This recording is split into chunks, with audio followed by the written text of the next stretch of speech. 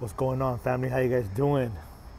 Oh, welcome, welcome. This is Polo Go. Praise one, love one, God only, and welcome to Polo Go Vision. That's right. Welfare check. This is Polo checking in with you guys. Hope all is well. So, what is it? Today is the third day of November 2021. We're at the second to last month of the fourth quarter of 2021. What we have done up to now is preparing us for what's coming. So, what have you been doing? What have you been let go of? What have you been working on? Your body, your mind, your spirit, all that good stuff does count on a daily basis. Um, hope all is well with you guys and yours. And um, I'm just checking in with you guys, hoping that everything's well. Hope that you guys have a great thanks upcoming Thanksgiving Day that's upcoming. But let's not just celebrate Thanksgiving Day. That's that day. How about every day? Every day, let's give thanks for the roof that we have, for the bed that we're able to sleep in, for the food we're able to eat, for people that we have in our lives that do care for us and love for us, for we are alive, for a lot of our brothers and sisters didn't make it to this point. A lot of our brothers died last year, last night. They're gonna die tonight. Hopefully I'll make it to to the to back to my house tonight and be able to rest and then wake up tomorrow. If I do, what a privilege and blessing that that, that is, you know what I mean? Um, let's give thanks every day because we're able to wake up and choose and decide what we're going to do and what we're not, not going to do, what thoughts we're going to fill up our minds up with, and what thoughts we're not going to fill up our minds with, how we're going to react and how we're not going to react. And uh, no matter what, let's keep in mind and give thanks that it's a work in progress, that we're not here to be perfect or to get everything done right the first time, that we're going to fail our way to success by trial and error, trial and error, trial and error. And the beautiful thing is that we all have issues. I have issues. You have issues. We all have issues, and that's what life is is about. Life is a big old school, an institution. It's a it's a it's a school, okay. And the best the best lesson is my last mistake that I made. And what can I if I if I look at it like a a setback to set me up for what's to come, that's the best way to look at it. You know what I mean? Now I want to talk to you guys about my imagination, your imagination, the word imagination, and the power that comes with imagination.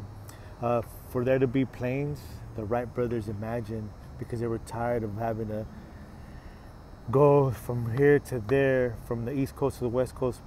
Would you say, per se, that um, on on a plane or I mean driving and how long it took? So, you know, we're gonna fly, and people thought that they were crazy, and they were like, flying is only for birds but yet because of their imagination that they plugged into they were able to we're able to now be able to fly from here to london from here to tokyo from here to paris from here to the east coast to the west coast in a matter of hours right? And uh, then someone imagined a car and now we have all kinds of cars. The table that you sit down and eat with the, the, the, the mug the coffee mug that you choose to use to drink tea coffee or water or milk or what have you someone imagined it. Everything was imagined first in the eye. I mean, in the mind's eye, in the imagination of our mind. Okay, and everything that comes through our imagination, it's it's a preview of what's, of what's to come, and that's what Albert Einstein said. Our imagination is a preview of what's to come and what we can have, as long as we believe. Okay. Now I'm gonna go through scripture in the Bible. There's there's there's two sayings or two scriptures. One says you have not because you ask not. And then the other one is, whatever you ask, you shall receive. Okay? So if I start thinking about that, then I can reflect on my part and what I did during my life. And whatever whatever I'm going to share with you guys has nothing to do with what I've done in my life, but it's only a living testimony of how great God is, of how great God is, of how great man, how amazing he is, and how how I, I'm just amazed how awesome you are. Father God, thank you for molding me and guiding me and chiseling away all my character defects on a daily basis. Includes my fears, my fears to try something new, my fears to, to, to, to, to get in a relationship. I'm okay, brother. Thank you so much. Thank you, brother. You have a blessed night, all right? You're awesome, bro. Um, I don't worry, I got it. You're awesome, bro. Thank you. Be safe. See what I mean? If I don't put myself out here and I just live in fear, then I won't be able to share the message. I won't, I won't be able to share the light and travel and travel and affect others, right? But it's all in my mind, you know what I mean? So when I was lost, I was filling up my mind with thoughts of uh, I'm a loser, I suck, I can't believe this, how does this happen? I'm a failure, I'm a failure, I suck, I effed up again, I messed up again. So then I stayed in that loop, in that loop of a pity party, oh poor me. And then the questions I was asking was, why does this happen to me? Why? Oh poor me. And I didn't realize that we all have issues and we're all going through issues on a daily basis. We all are, you guys. Okay, so then the moment that I decided after I walked away from that deadly car accident where I saw death and I faced death and I saw death eye to eye, okay, that day I realized, wait a minute, I'm gonna see death again. So for what I do from September 22nd, 2012 until I meet death again, I'm gonna make this day count. So I'm gonna believe and I'm gonna I'm gonna realize that I'm gonna fail my way to success. For me to get to that point, I felt a lot, you guys, and I continue to do so. Yes, but now I'm gonna tap into my imagination. So my imagination is to be light to this world, to bring hope to as many people and the families that I can, starting with myself, my family, and everybody, and, and all in the communities my my imagination is telling me that I'm going to retire my parents and give them the retire the retirement that they deserve because they spoiled me rotten. They gave me an upbringing that was just amazing. So I'm going to imagine that, right? So then I say, God, I'm going to ask God. I'm going to ask so I will have. See, if I don't ask, then I will not have. If I don't ask to have, then I will have not. I will not have nothing. So God, take away all my fears take away all my worries, all my cares, all my burdens, everything that's overwhelming, everything that stops me, stops me, everything that limits me, everything, take it away. So I could then focus on what I need to do, which is glorify you and fill me up with your infinite spirit of peace, love, joy, attitude of gratitude. Uh, help me to be slow to anger, slow to react, and be quick to think and quick to listen. Help me to walk through my life lighthearted and carefree, knowing all is well. Okay? And then by me asking, then I will receive it because I'm plugging into that way of thinking.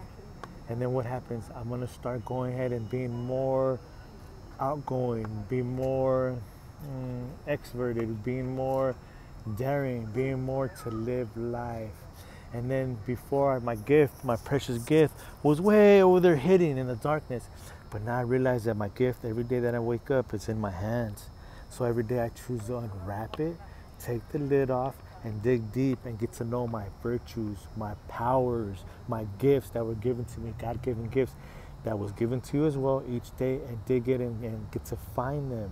And part of that is my imagination. So now let's go biblical on this. Faith. Faith is having hope, right? Having hope, strong hope, so much hope that believing in something even though it's not there. So I don't want to wait to see it to believe it especially if I have a cane, I can't see it. I'd rather believe it before I see it. There I already have it. So I hope on that. I base my hope on that and my heart and my mind. So that way when I ask, I'm gonna ask big. Why not? Because I'm gonna do everything big just to glorify God. Everything I'm gonna do through and with God just to glorify you, Father God. Okay? So it's using the power of my imagination, our imagination. But what do I gotta do first? I gotta surrender. I got to seek God's kingdom. I got to rely and depend on God's understanding, not mine. And when I'm weak, God makes me strong because I no longer depend and rely on my strength, but I now depend on God's strength. And that is a beautiful thing. That is a very beautiful thing. Because I could be walking in the darkest alleys, in the street, or in my mind. But as long as I rely on God, then He gives me the light and He fills me up with the light of peace and hope and abundance and thinking of abundance and tapping into my imagination where I cannot create an inlim- uh, unlimited possibility and realities taking care of my personal reality. Because don't forget, my personality will determine my personal reality. So if I ask, then I will have. And whatever I ask, I will I will receive because I can do anything through God. I can do anything through Jesus Christ that dwells within me. And there's no weapon formed against me that shall ever prosper. And if there's no enemy within me in my mind, then the enemy outside could do me no harm. I'm gonna try things and I'm gonna do things, and if I fail, I'm gonna fail my way to success, and that's what I love. So here we go. I'm gonna share something with you that I've been working on. Here we go. I am free, thanks to God Almighty. I'm a king. I'm a champ. I'm royalty. I'm blessed and unstoppable. To God be the glory. Praise one, love one, God only. That's right, champs. So I pray that you are tapping into your imagination. I pray that you use every second of every day of your life to go ahead and discover what your talents are, what your gifts are, get to know them. And I pray that when you feel that fear, then you tap into that courage. And courage is, does not mean there's absence of fear. Courage is when you still feel fear, when you still feel fear, you still go through it courageously and conquer it. So let's go do this, champs. Let's get it done. Five, four, three, two, one. Let's go, champs. Let's go, champs. Let's knock it out the park, champs. And don't forget, I believe in you and I'm very proud of you. Mwah, blessings.